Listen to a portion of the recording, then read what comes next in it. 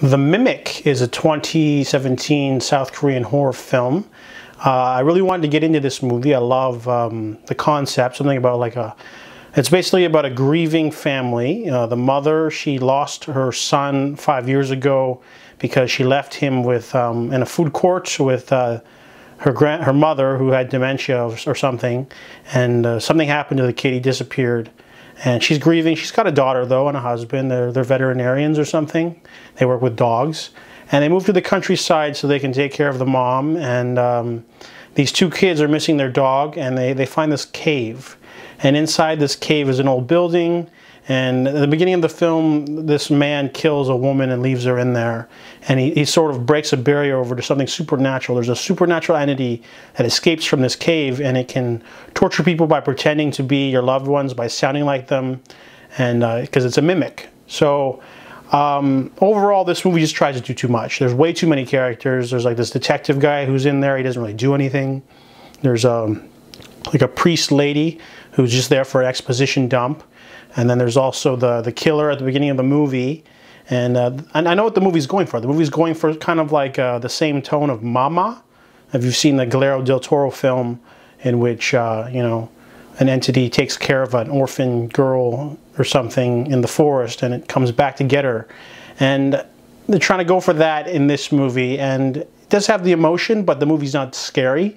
It's not that thrilling. And then it falls into cliche territory in the last third act you know, the movie is trying to be like an emotional dark drama, but it's also trying to be a horror film, but it's also trying to be a ghost movie, but it's also trying to be like a way too many things going on. Uh, it should have been a little bit more streamlined, like this other movie. This other movie, it wasn't that great either. It's called The Hole in the Ground. It's about a woman whose son disappears for like 10 minutes, and then when he comes back, he's not him because you know it's it's like a mimic. That's a better concept. I would have preferred that this movie tried to do the same thing with the son because that's sort of like introduced, but it's never really like utilized. Really, it's kind of just like a chip on the shoulder of the mother. She doesn't trust the police because they never solved that case, and I guess this daughter is supposed to be a replacement, and it's not very subtle. And um, yeah, overall the movie's just um, it's all over the place. It's not scary. It, it just leaps all over the place trying to be one thing. So I give, uh, uh and another thing I gotta say before I give the rating is that a lot of Korean movies are like this. I mean, Korean horror films. They're not the strongest. Um, there's only about, I can think of maybe 50 to 100 that exist. And I've seen a lot of them. A lot of them are just generic horror movies in the, the same vein as Japanese ones. They don't have the style. They're just, there's there's seldom really excellent you know horror films when it comes to Korean horror. I mean, you do get the outliers like The Host or Tale of Two Sisters, or you know, you get the occasional gem here or there, but um, there isn't a large pool to you know compare. Hollywood makes you know dozens more horror films than Korea.